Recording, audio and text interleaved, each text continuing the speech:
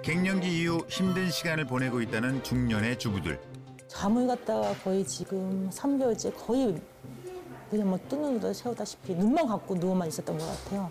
또 몸이 안 좋아요. 계속 으슬으슬하고 컨디션이 안 좋아서 그런 게 제일 문제가 많고요. 갱년기 장애의 고리를 끊고 건강한 중년을 보내고 싶은 네명의 주인공들이 도전에 나섭니다. 6, 4, 5, 1.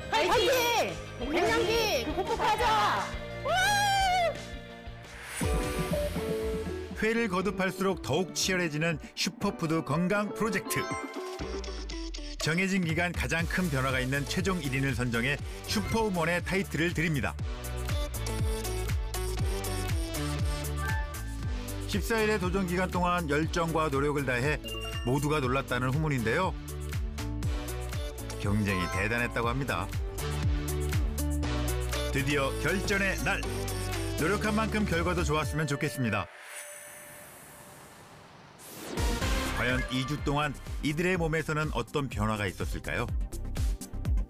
유산균 씨가 좀 달라진 게 있어요? 피곤한 것도 좀 덜한 것 같고 감정 기복이 심하고 이제 그런 게 있는데 그런 게 많이 줄으니까 남편한테 아침밥도 잘해주고 그래서 우리 남편이 아주 좋아해요.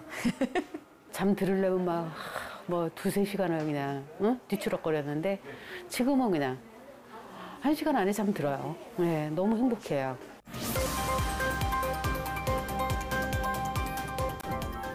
유순희 씨는 단기간에 무려 7kg 들면서 중성 지방이 감소했고 신예솜 씨 역시 체중이 감소하고 특히 혈당이 정상 범위로 회복.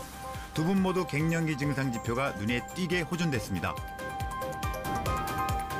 강승희 씨는 체중이 5kg 줄고 나쁜 콜레스테롤이 감소. 김선자 씨도 중성 지방이 40% 감소하며 두 사람 모두 삶의 질을 판단하는 맨콜 지수도 현저히 줄었습니다.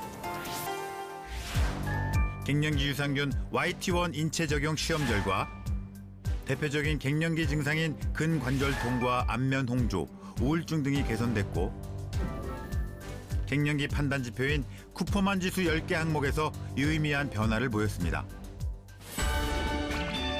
과연 이번 11기 슈퍼우먼의 주인공은 감사합니다. 아, 갱년기 잘 극복해서 멋지고 예쁘게 늙어가겠습니다. 화이팅! 갱년기 유산균 YT1을 더 건강하게 섭취하는 방법은요. 일일 권장량은 100에서 450mg 정도입니다.